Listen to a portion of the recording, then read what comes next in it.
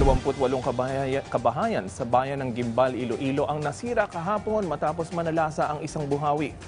Sinabi ni Grace Villaspin, Municipal Disaster Risk Reduction and Management Officer ng Gimbal, na apat na bahay ang totally damaged at 24 naman ang partially damaged na pawang gawa sa mga light materials.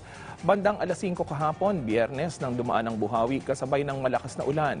Ilang bahay pa ang natanggalan ng bubong at may mga puno ring natumba na naging sanhi ng pagkasira ng ilang bahay.